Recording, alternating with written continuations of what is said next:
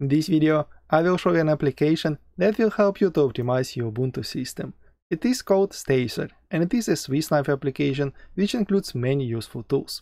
For example, you can check the general state of your system using System Monitor here. You can also clean your system at different levels as you can see here. You can also check what services you have running and you can enable or disable them. And of course you can also uninstall some programs and here the programs are categorized into Debian packages and snap packages. But let's have a look at this application in more details.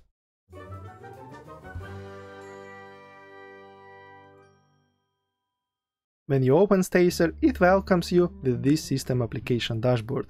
You can see your CPU load, your memory usage, how much free space you have on your disk, and if you download or upload something, you would also see download and upload speed here. And there is little more system information here. But the most interesting comes in the next tab. Here, you can for example check what startup applications you have enabled or disabled on your system and I recommend you to keep the number of startup application to minimum. For example, evolutionary alarm notification, I don't need it, because I don't use evolutionary email client, so I disable it here. You can also remove or edit it here, if you need. And of course you can add startup applications. If there are some apps which you open very frequently, it makes sense to start up them with the system to save some time but the most interesting and I believe the most useful tab is the third one. This is a tab which helps you to clean your system, and you can clean it at different levels. For example, you can remove package cache. When you update your system or install packages, it downloads packages and stores them on your system for ease of reinstallation. But usually it's safe to remove those cached packages. So I always recommend you to clean packages cache. You can also remove crash reports because most users never check them and I think it's safe to remove them. You can also remove applications log, unless you're advanced user and you need to check them. This is probably the one which you need to be careful with, because you can clean your applications cache and it will free some space. But you need to keep in mind that if you clean your application cache, it may affect behavior of some of your applications. For example, if you have active login on your Firefox or Chromium browser and you clean cache of uh, your browser, you will remove that active login and you would need to re-login again. In most of the cases it is safe to clean, but you would need to re-login to all your other apps, for example.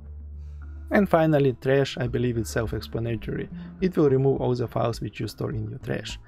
So after you selected what you want to clean, you click on this search icon and here you see how many files you have in different categories and how much space they take.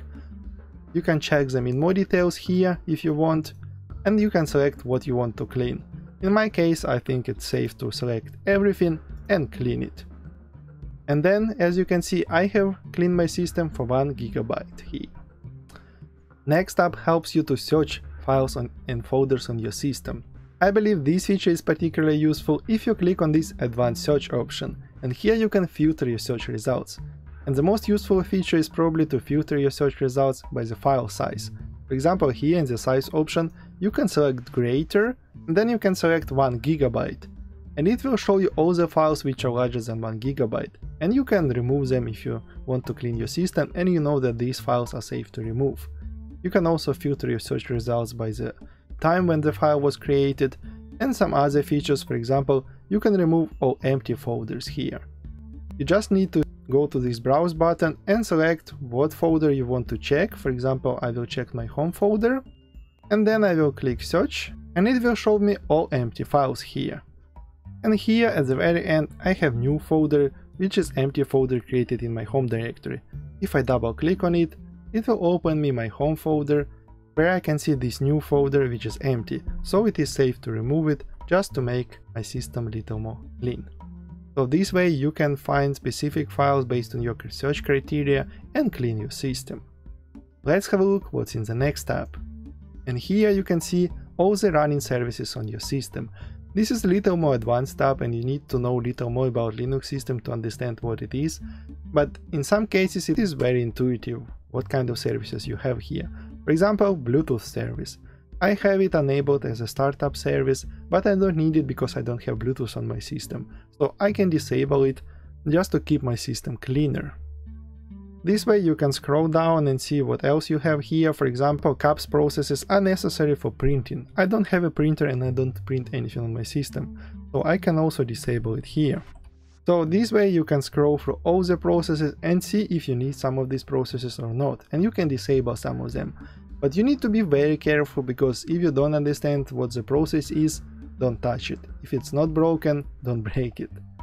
So let's have a look what's in the next tab. Here you have a list of all the processes running on your system. You can filter them by CPU for example, or by memory usage. This is very useful just to check what takes most of the resources on your system.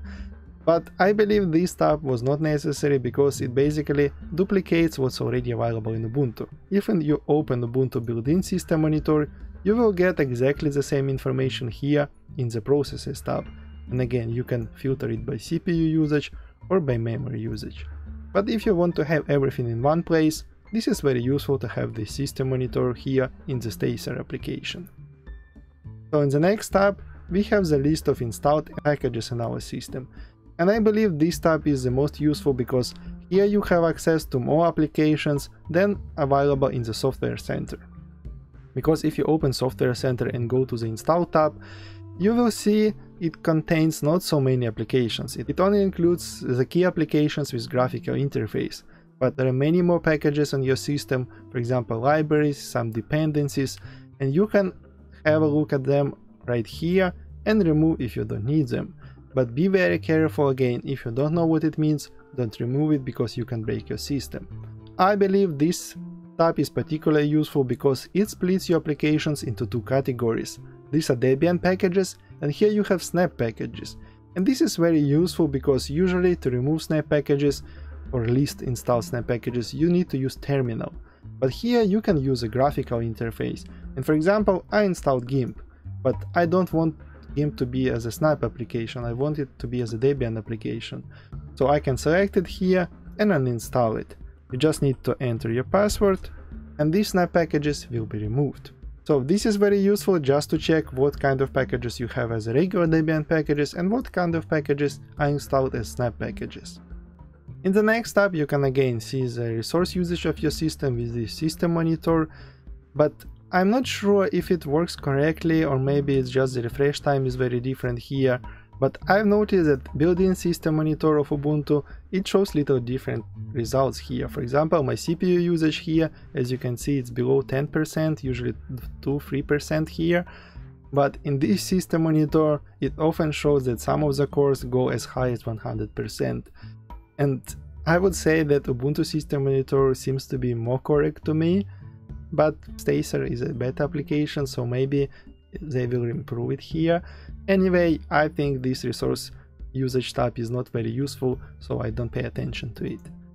In the next tab you can manage your hosts, but I think this is for a little more advanced users, so you need to have some experience and understand what it is. Most of new users can ignore this tab. In the next tab you have list of available repositories for your system, you can see which of them are enabled, which of them are disabled, if you want to install some application which is not available in the software center and there is a repository for that application, you can add it here by clicking on this add repository button.